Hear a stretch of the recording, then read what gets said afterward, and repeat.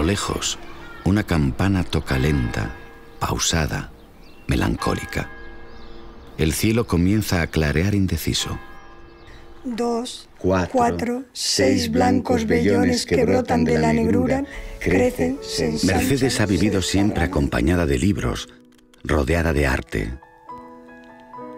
Gracias a los audífonos pudo cumplir el sueño de ser maestra y transmitir, enseñar y compartir todo el conocimiento que los libros esconden.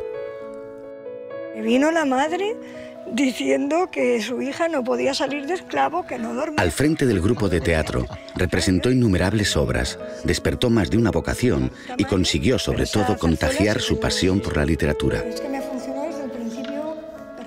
Mercedes ya no pasea entre pupitres y pizarras, pero recuerda con emoción su paso por las aulas, los nervios previos al estreno, los aplausos sobre el escenario.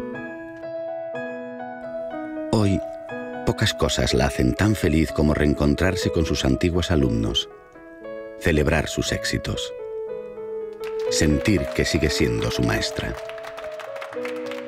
La vida es un relato apasionante. Escúchalo, Gaes.